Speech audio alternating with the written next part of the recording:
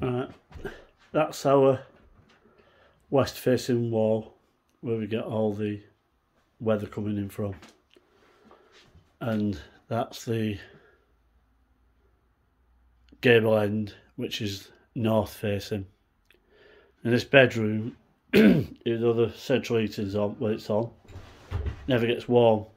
uh, the central heating is set at 18 degrees, uh, or sometimes I put it on constant for a bit. But the maximum it gets in here is about 16, 16 and a half degrees. And my daughter says it's always cold.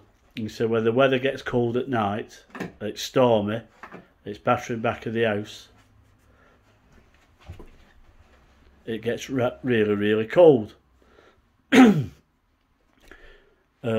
what's your uh, what your, what's your recommendations? What do you think? Is there anything we could combat this?